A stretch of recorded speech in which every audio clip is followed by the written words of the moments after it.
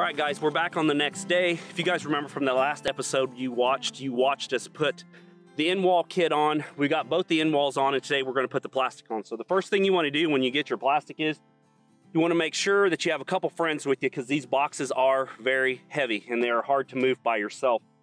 Luckily, I've got a group of friends here and we can get this stuff laid out. If you notice, this is one way of doing it. You can do it multiple ways. I've seen people do it everything from just laying the plastic like in an accordion style and then pulling the plastic over the top or actually laying the plastic out. We only have about a five mile an hour wind off and on today, so we chose to lay the plastic out.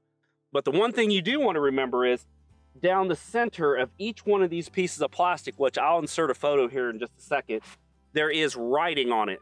If you look at it one direction, it says inside, and you look at it the other way, of course, it's transposed opposite. You want to make sure while you are standing inside of your high tunnel, when you look up, you can read the words inside from left to right like you would a book. So that's very important because on the inside of this piece of plastic, it has a condensation or an anti-condensation layer built into it, which in all tents, all that does is when it does get warm in here, it lets the condensation roll off the side of the high tunnel onto the ground instead of dripping on your plants. And you would say, well, why is that very important? Well, for the most part, it probably wouldn't be, but some people that use these high tunnels to plant specific flower types or specific leafy greens do not want water spots on their vegetables. So you want a very good, um, I guess, a, a, a, lack of a better word, a very good look to your vegetables when you sell it or to your flower petals. So that just ensures that all the condensation rolls off to the side of the tunnel and then rolls onto your ground or your wood chips or whatever you're using for a pathway here. But what I'm gonna do today is I'm gonna show you exactly how we pull this over. Um, it starts as simple with tennis balls. We don't have any tennis balls. Um, we gave them to the dog and the dog ate them. So all I've got is my son's uh, little Nerf basketballs when he was a little kid. So of course he doesn't need them anymore. So we're gonna use those. So Phil, you wanna help me here and we're gonna show you exactly how we tie this up. Okay, so what we're gonna do is we're gonna grab this basketball and we're gonna go underneath this piece of plastic about a foot or two in and we're just gonna make a loop, kind of like you're making those little Kleenex ghosts you used to make in grade school.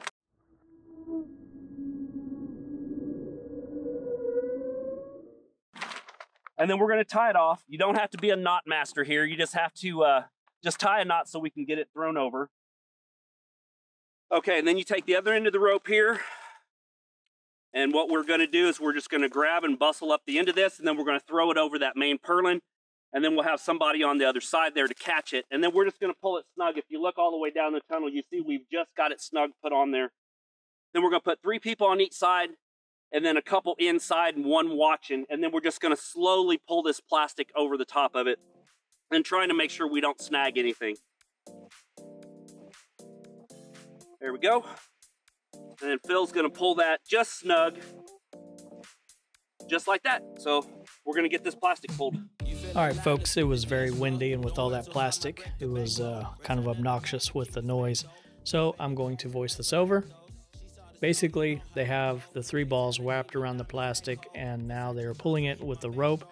One thing that's very helpful is to make sure that if you feel snag or any resistance whatsoever, the folks that are on the inside, hopefully they'll have an aluminum painter's pole with a piece of one inch PVC uh, duct taped over those threaded caps and or a broom or something like that. Just basically something tall enough that you can press against the plastic and then relieve those points where the plastic gets snagged up on anything. And i'm going to go ahead and tell you everybody has a snag. It's not a big deal. Just be ready for it and make sure that your folks on the ground that are on the rope there aren't over pulling now this whole process is taking less than five minutes we have the clock sped up a little bit but it's important to know that it goes very fast. Even with just a couple of people, it may double in time to 10 minutes, but it goes very, very quick. So once that's pulled over, make sure that you go all the way around and you have enough to account for any cutting or pulling that you're going to do. And just kind of make sure that it's evenly distributed on the ground all the way around. The end walls, we do give you plenty, but as you can see, it sucks down pretty quick. And then we'll get to the end walls here in just a second. Fill up my cup with the pot, whoa. Eye of life in the spot, though. Running at the visa, really talking to a real life Mona Lisa. Jesus pieces hanging off the fleecer. Uh. So much going on, it's hard to focus on the features. I got too many. From hip board to hip board, going over the arch, then going around to the other side, and just pull as hard as you can. and get that as tight as you can. And then go from hip board to hip board along the arch. I find it's easier to start at the crown or at the top of the hoop and work my way down to the side, reset, and do the same thing. All right, guys, you guys saw in the last little section of the video that we got the plastic pulled over. We actually got our wiggle wire tracking set on both sides, and we also installed the back wall, and we'll sort in pictures down here. Okay, now what I'm going to do is we're going to show you exactly how we set this wall up by doing the front wall. So we're going to get on that. What the group's doing now is we have cut the end of the plastic.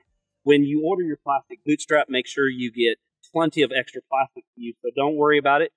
Um, what we did is we secured the top half of the tunnel with a piece of wiggle wire in the tracking, and then we cut that off. And the reason why you may be asking, well, why don't you just pull it down and then put the wiggle wire tracking, and then you don't have to cut the plastic? Well, it's a square piece of plastic cutting a circle hole, basically a half circle hole. So if you did it that way, see how it bunches there in the middle? You would get bunches trying to pull that stuff tight. So the only way around it is to cut it off, start at the bottom. We put one little piece of wiggle wire tracking on the top there, and then we start at the bottom and put another piece so we can get a straight line. We're using the inside of that painted marker as the straight line. And then what we'll do is one person will get on the ladder and pull the top. There'll be one on the bottom and one on the side here, as you can see right there. He is going to pull out, and then I'm going to pull up, and then the other guy's going to put the tracking in the bottom. It's easier to go ahead and set your bottom nice and level and tight first, and then from the top you can actually pull the slack out like like a pie shape here and pull the slack out and then put another piece of tracking in or another piece of wiggle wire in and then uh, it will pull everything nice and tight so just keep going So as Tracy makes his way up the ladder, what we're looking to do is to have that guy in yellow pulling all of the excess out of the way. Tracy's going to then pull up on the plastic at the hoop, and he can also start putting the spring wire in at that point. And then the guy on his knees on the bottom is going to be installing one straight track. It looks to be like left to right, all the way down where the baseboard with the lock channel is installed.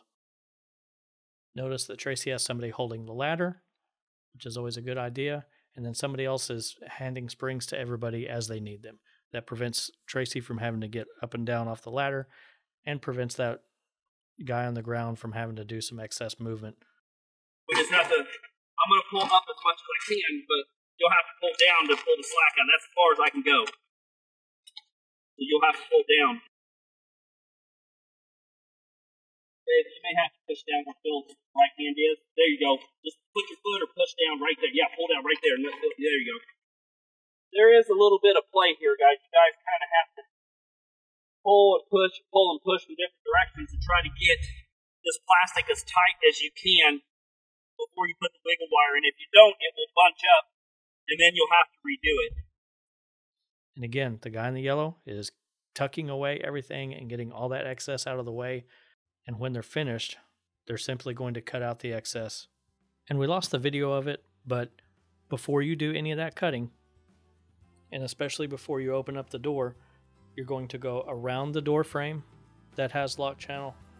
You're going to go around the doors that have lock channel, then around the door frame that has lock channel, and then up on the vertical uprights on either side of the door, and in this case, on a 20 footer, the extra two verticals on either side of the door. Every time you put in a piece of wiggle wire, pulls that end wall tighter and tighter, and then you simply cut in between the doors in the middle if you have a double door, and or around the frame and the door so you can get in and out. And it's at that point that you'll install the handle.